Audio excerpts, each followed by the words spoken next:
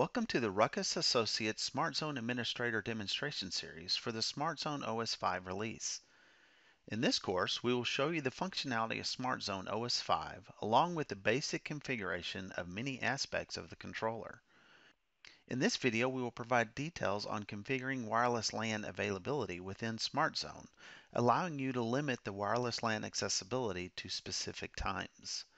Also, we will show you how to set up VLAN pooling, which is commonly used in larger scale wireless LANs. With this ability, you can deploy different DHCP pools all within a single wireless LAN. So let's get started. Let's start with wireless LAN schedules. So within a wireless LAN, you have the ability to limit the schedule or limit the time that a wireless LAN is available. Now by default, a wireless LAN when being configured is set to always on. You have other options of always off or specific. Within the specific settings, it allows you to create a schedule limiting the amount of time or specific times in which a wireless LAN will be available to users. To set this schedule, you click on Create within the wireless LAN configuration and open up the Create Time Schedules table. The name of the schedule as well as start times and end times can be configured by mousing over the times in which you want available. Let me demonstrate.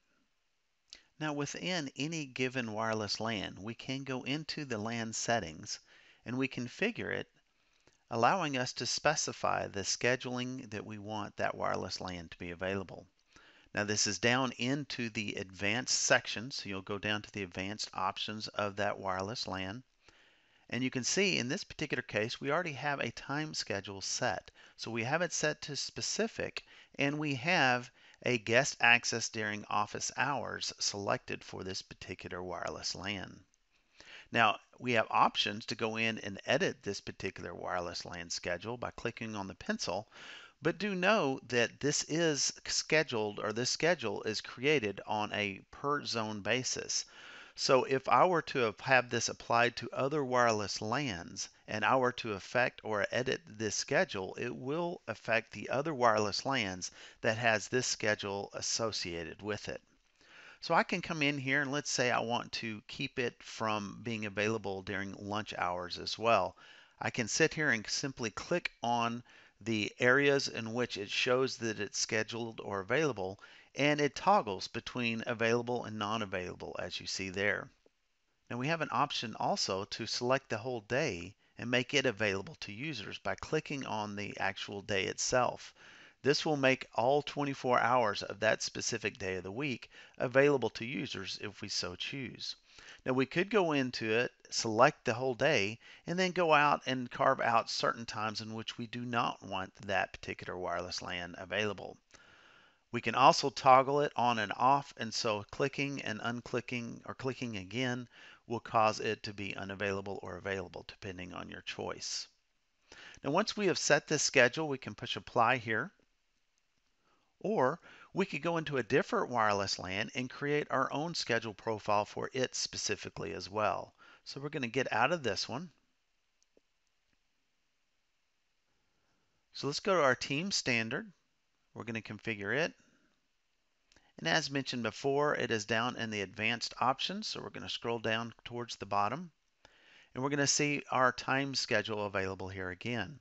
We're going to go into specific and this time we're going to create one. Now notice that when we push specific, because a schedule has already been configured, it's going to automatically default to that first one.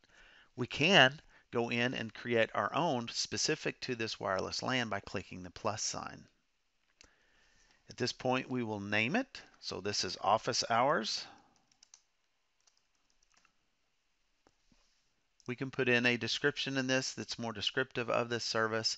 And then we can go in also and select certain hours of the day for this. Now, one thing to keep in mind that's very important, understand the time zone in which we're referencing, and it will tell you up at the top right here which time zone that you're going to be scheduling this for. So you'll just need to be sensitive knowing wherever these wireless LAN devices or the, wherever this wireless LAN is being broadcast, we want to make sure that we are appropriate based on the scheduling of that time zone and not necessarily the system time zone that we see listed up at the top right here. So we're going to head, go ahead and schedule this Monday and Wednesday. Oop, I missed the 8 to 8.30. Notice that these are in 30 minute segments and we're going to pick Friday as well. And again, this is just an example of how we're able to limit the access of that wireless LAN based on the scheduling we have configured.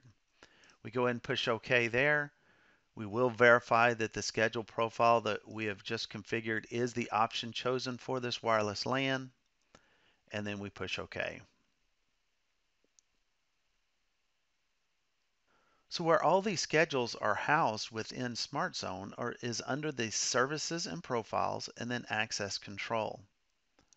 Under that, we will see a Time Schedules tab that we will click on. And we can see here are the two schedules that we saw earlier in my example. Now any one of these we can click on and we can click on Configure and we can adjust it if we so choose. So adjusting these times or adding specific times to this particular schedule is going to affect any of the wireless LANs that happen to have this schedule associated with it. Now, as mentioned earlier, these schedules are based on a zone basis. So if we were to click on the plus signs here, you can see we have a zone X zone, which is where these have been configured because when we created those within the wireless LAN, it will associate it within the zone those particular wireless LANs are a member of. However, if we have a different zone within that domain, you can notice that when we click on it, it will can have its own schedules. Therefore, each zone needs to have its own schedule. So if you were to create a schedule within the scheduling profile area, which is in the access control section, you can go back to any wireless LAN within that zone, apply that specific schedule to that particular zone. Now, once you've done so, that uh, schedule will be applied to that specific wireless LAN, allowing it to function normally during the enabled hours. However, when a time is reached when the wireless LAN goes off, the access points will be shut down based on that schedule. Now let's next talk about VLAN pooling profiles and how those can be applied to a wireless LAN. VLAN pooling allows for you to run multiple different DHCP pools within a single wireless LAN. You'll use this on high density deployments when you have a lot of clients. The AP uses a hash algorithm to assign incoming devices to different VLAN pools. In our example, the first station connects. The AP hashes the MAC address and then the result maps it to the first configured VLAN, which happens to be VLAN 10. Once that device is associated with VLAN 10, it will receive an IP address based on that VLAN's DHCP configuration. The second station connects, and this hashed MAC address maps it to VLAN 50. This device will receive its DHCP IP address from VLAN 50. Because the hash algorithm always provides the same result, each station will always be assigned to the same VLAN. Large deployments will have enough diversity between MAC addresses to ensure the clients are evenly balanced across the pools. In a previous video, we showed you how you can enable VLAN pooling under the advanced options when creating a wireless LAN. To create a VLAN pooling profile from the Access Control VLAN Pooling tab, select the Create button. Name the profile and then add the VLANs that you want associated with this particular wireless LAN. Notice the MAC hash option is selected by default. Each VLAN pool can contain up to 32 VLANs, and a maximum of 64 VLAN pools can be created. Each wireless LAN can be configured with a single VLAN pool. Make note that the 11AC Wave 2 supports a maximum of 64 VLANs within its VLAN pool. Other AP models support up to the 32 VLANs. Let me demonstrate this for you. So under Services and Profiles, underneath Access Control, we go to the VLAN pooling tab. Now note that the VLAN pooling is based on a per domain basis. We're going to click on create and we're going to label this.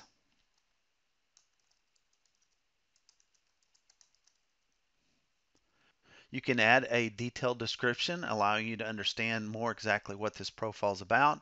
And then we'll go down to the VLAN section and add the VLANs. Now we can use a dash to go between various VLANs. We can put in a comma, allowing for specific VLANs to be chosen. And all of that is supported within the VLANs field that we see here. Now once we have put in the VLANs that we want, we push OK, and we see the VLAN pool shows up within the domain that we have selected. Now we'll go back to wireless LANs.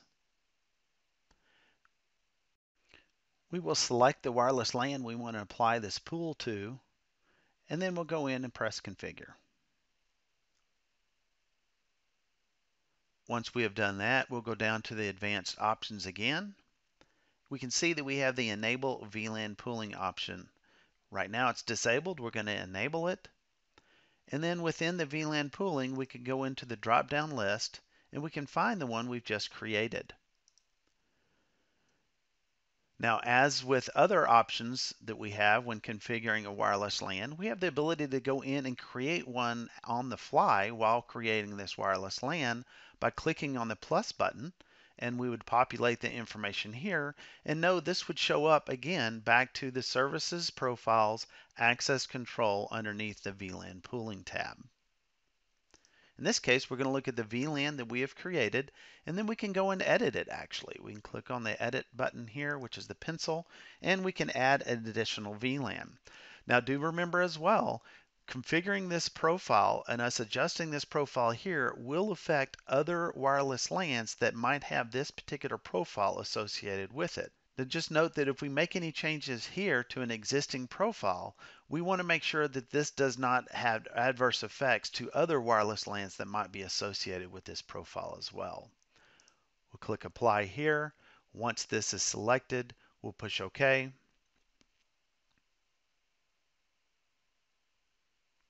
Now, from now on, any people that are connecting to this standard 2 wireless LAN will go through that hashing algorithm that will be placed into a VLAN that is based on that hashing algorithm, and they will receive an IP address that is appropriate for that particular VLAN. Thank you for taking the time of watching this video of wireless LAN schedules and VLAN pools. Note that there are other videos within this series that provide you more details of SmartZone OS 5 release features and how to configure them. Thanks for watching.